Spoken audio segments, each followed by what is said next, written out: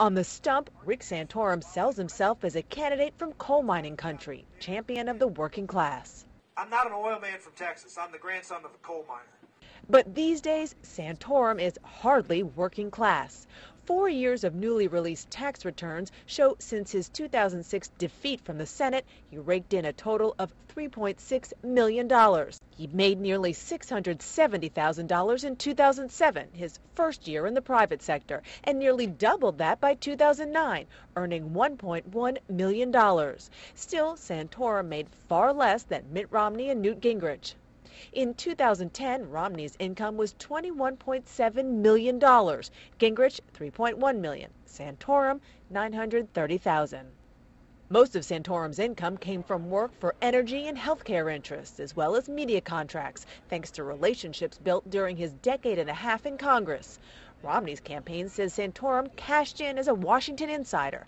He describes it this way. It was a real great opportunity to get a, a whole bunch of different, uh, uh, different life experiences in the private sector, and I think that's made me a, a better candidate coming forward here at, uh, for president. Bigger paychecks allowed Santorum to move his seven children into this big house he bought in suburban Washington. But he tries to use the purchase to connect with millions affected by the housing crisis. That house has lost 40% of its value, so I had to do a lot of paying down of uh, debt to keep my uh, mortgage payments down and to get my head from. I've, I've, in a sense, suffered what a lot of people did. With Santorum's fatter paychecks, heftier tax bills. In 2007, he paid $167,000 in federal taxes, 310,000 in 2009. His effective tax rates between 25 and 28 percent.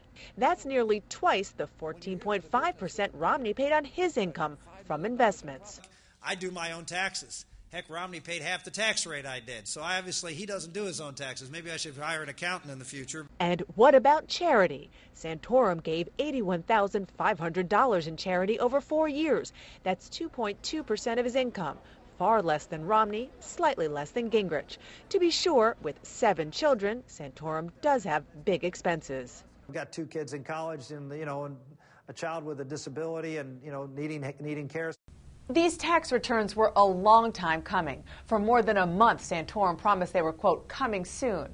Still, Santorum aides point out that he's now released all of his taxes since being defeated from the Senate, four years worth, and that's more than his GOP competitors.